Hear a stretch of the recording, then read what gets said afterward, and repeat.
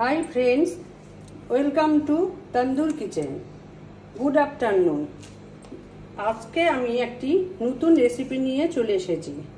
আজকে আমি বানাচ্ছি কারি চাওয়াল কারি চাওয়াল বানানোর জন্য যে জিনিসগুলো দর প্রয়োজন, সেগুলো হলো বেসন।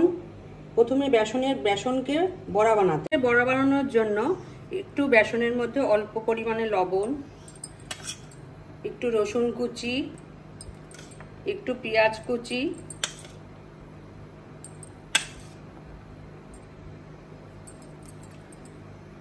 অল্প পরিমাণে হলুদ, একটু জিরার গুঁড়া। এগুলো সব দিয়ে ব্যাটারটাকে এবার ভালো করে মাখতে হবে। মেখে তারপরে ছোট ছোট করে বড়া বানাতে হবে। এইভাবে ভালো করে ব্যাটারটাকে ফেটাতে হবে। না হলে এর মধ্যে বেসনের যে লামসগুলো সেগুলো রয়ে যাবে। সেজন্য খুব ভালোভাবে এগুলোকে মিশাতে হবে। ছোট ছোট করে বড়া ভেজে তুলব। এইভাবে ছোট ছোট করে গোল গোল করে বড়া তুলে নিতে হবে। এপিট ওপিট করে ভালো করে ভেজে বলা বড়াগুলো রেডি করতে হবে।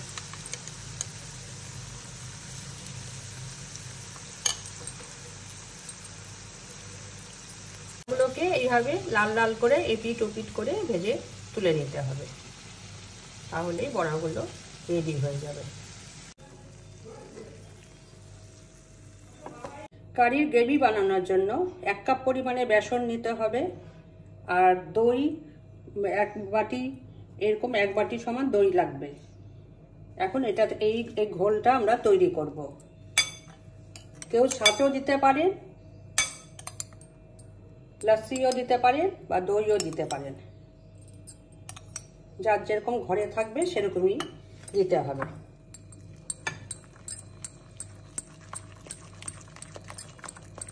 ভালো করে এটাকে ফেটা, ফেটিয়ে পাতলা একটা ব্যাটার তৈরি করতে হবে।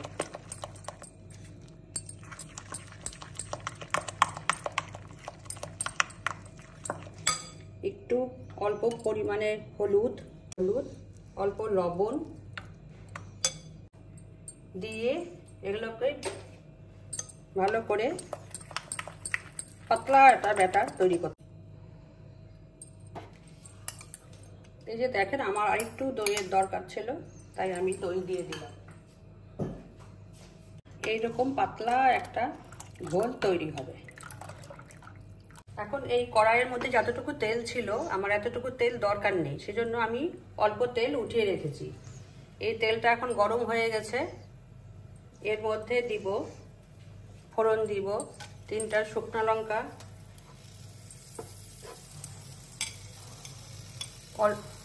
এই এক চা চা হাফ চা চামচ জিরা, হাফ চা চামচ শস্য আর হাফ চা চামচ মেথি। একটু অল্প পরিমাণে চাল, ওই এক এক চামচ পরিমাণ। দিয়ে আমার এগুলো ভাজা ভাজা হয়ে গেছে ফোড়নটা। এখন আমি এর মধ্যে দিব রসুন কুচি।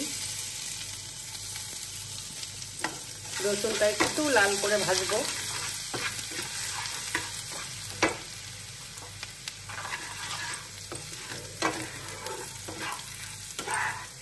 এই যে লাল লাল করে ভাজা হয়ে গেছে। এবার এটার মধ্যে একটু পেঁয়াজ কুচি আর একটু টমেটো আর দু তিনটা কাঁচা লঙ্কা।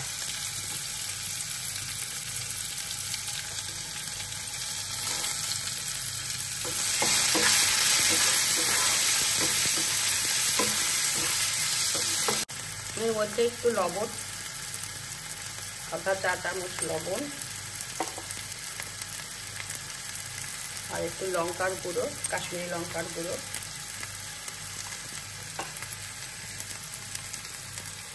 আর একটু হলুদ গুঁড়ো দিয়ে তারপর ভালো করে কষিয়ে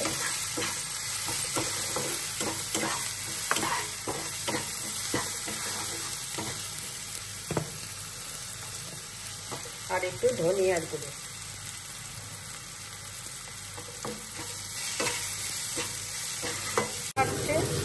এই মশলাগুলোর থেকে ততক্ষণ আমি ভেজে যাব। মশলার থেকে আমার তেল ছেড়ে গেছে। যে তেল ছেড়ে গেছে। তার মানে এটা ভাজা হয়ে গেছে। এখন আমি এটার মধ্যে তৈরি করে রাখা বেসনের ব্যাটারটি এবার ঢেলে দেবো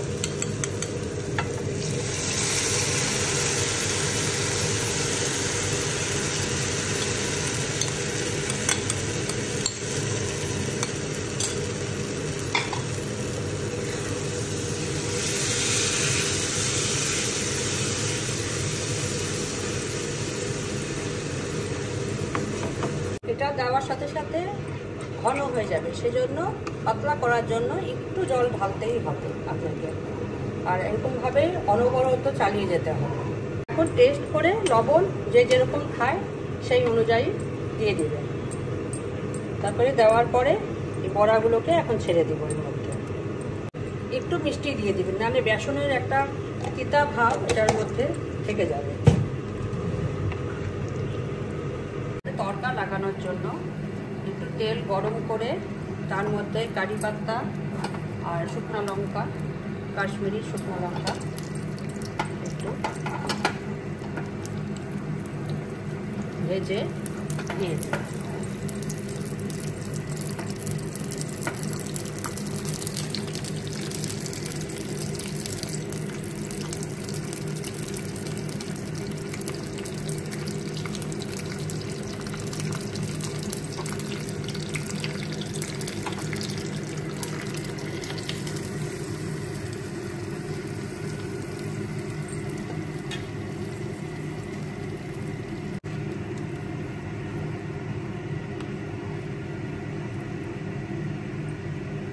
আমাদের এবার রেডি হয়ে গেল কারি চাওয়া।